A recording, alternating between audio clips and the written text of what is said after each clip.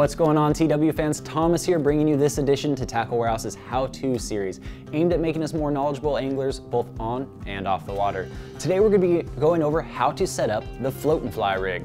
The float and fly rig is a super popular technique that actually originated back east. Started with fixed bobbers, fixed leader lengths.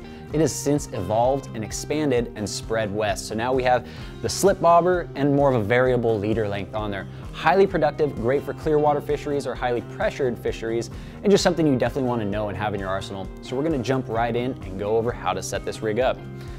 The first step is actually going to be determining your leader length. This can be a little bit difficult to do on camera, so I'll just kind of explain to what you're gonna, what you're going to be looking for. You can either A, rely upon your electronics, you know, just visually identifying where those fish are holding, B, if you it's a local fishery or a fishery you know very well and you happen to know, hey, this time of year the fish tend to be holding at this depth, well then you're off to a good start there. If you're going in totally blind, not a problem. A quick and easy way to do it is you can either go by just your arm length, you can pull out the leader length as far as your arms, or the length of your rod, somewhere in that five to eight foot length. So it's just an easy place to start and you can always adjust your leader length from there.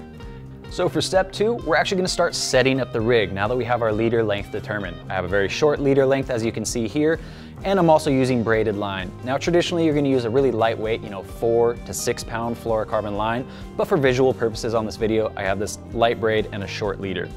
The first uh, portion of setting up the rig here is tying on our bobber stop knot. You can actually tie these up yourself with some nylon string, you know, some upholstery thread or anything like that, or Thill sells these handy pre-tied ones.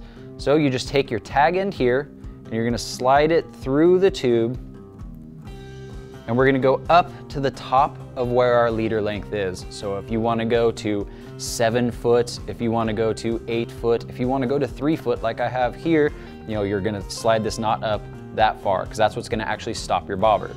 All right, so to get this knot off of the tube and onto your line, you're just gonna simply pull it off, work it off here, being careful to pull it up away from the straw tube so you can slide the straw tube down and off at the end of your tag line. Now from here, we're gonna simply tighten this knot. Just slowly pull it in, keep it nice and neat. There you go, we have that knot tightened. Now it's important to get this knot really, really tight. You want this thing to hold up for the full day of fishing. So what I'll actually do on the water is I'll use a couple pairs of needle nose pliers and really cinch it down with those pliers. From here, we just need to simply cut our tag ends off. And you actually wanna make sure to leave a little bit of some tag end because like I mentioned, this knot is naturally gonna slip. It's just gonna happen while you're fishing. So it's gonna slip, kind of come loose loosen a little bit. So you leave a tiny bit of a tag end so that you can re-grab with your needle nose pliers and cinch it down again throughout your day of fishing. So there you go. You can see small tag in there. You don't want to go too big on that tag end because then it's going to get hung up in your spool, hung up in your guides. Definitely what you don't want. All right, the next step here, we're going to add our bead. Now this bead is going to serve a couple of purposes. One, it's going to protect that knot that we just cinched down on our main line that stops the bobber. And as well, it's also going to stop the bobber from slipping over the knot in the unlikely event. Some of these knots, you know, once you do get it down really tight, they're gonna be pretty small and the bobber can actually slip over that knot. So that bead protecting the knot as well as keeping the bobber from slipping over it. Speaking of the bobber, it is time to tie our slip or thread our slip bobber on. Now this part's very important to this rig. This is kind of where I was talking about that evolution earlier. Rather than having a fixed bobber, we have a slip bobber that's gonna be free sliding up and down your rig. I'll kind of show you what I'm talking about here momentarily. So you just keep feeding your line through, pull it out through the tag end here, and there you go. So you can see your bobber can't go past that point. However, if we just tip it down, it can slide down. So you can reel that knot up into your spool and you can have, you know, a three foot leader all the way up to a 30 foot leader and beyond. So if those fish are holding really, really deep in winter, you don't need to have a long fixed leader that you can't cast. You can reel that knot right up in your spool and this bobber is just gonna slide around, no problem at all. Now, when it, it's also gonna help as well with casting. So these finesse jigs that we're using, right here I'm using one from Spro, these finesse jigs are really, really lightweight. I mean, we're talking down to a 16th of an ounce, sometimes even less. They even make some 30 seconds of an ounce there. So with that sliding bobber, it'll actually slide all the way down to the jig and add some weight. So you're gonna be able to cast it pretty far with just your standard seven foot spinning rod or whatever you're using. So we're gonna tie on our finesse jig at this point.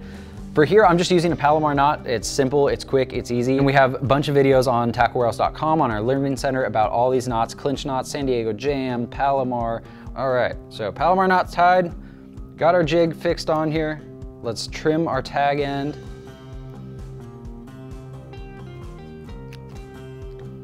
And there we go. We have the float and fly rig.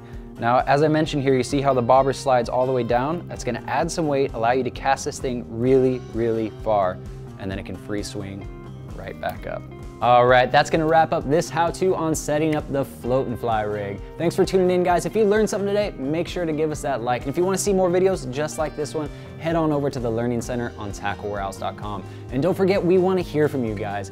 This content is being created for anglers at every level of the sport, from beginner to expert. So if you wanna learn a simple knot or some more complex trick or hack, anything like that, make sure to let us know.